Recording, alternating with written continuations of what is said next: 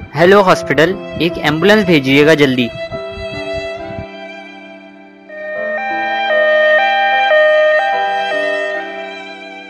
Doctor साहब doctor साहब, जल्दी आए। एक्सीडेंट हो गया है बेचारे का। हम नहीं जानते ये कौन है, लेकिन प्लीज़ इसका ऑपरेशन कर दें प्लीज़ जल्दी। देखें, जल्दी से पाँच लाख रुपए जमा करा दें। मैं फिर देखूँगा मरीज़ को। वक्त ना जाया करें आप हमारा। ऐसे जमा कर लेते हैं जितने भी हैं हमारे पास। शायद इसकी जान बच जाए। बेचारे का बहुत खून बह गया है यार। ठीक कहा भाई आपने। ये मेरी तरफ़ से हैं। बहुत कम है लेकिन फ़िलहाल मेरे पास यही हैं। दो घंटे बाद। डॉक्टर साहब हम सबने मिलकर ये तीन लाख रुपए जमा किए हैं।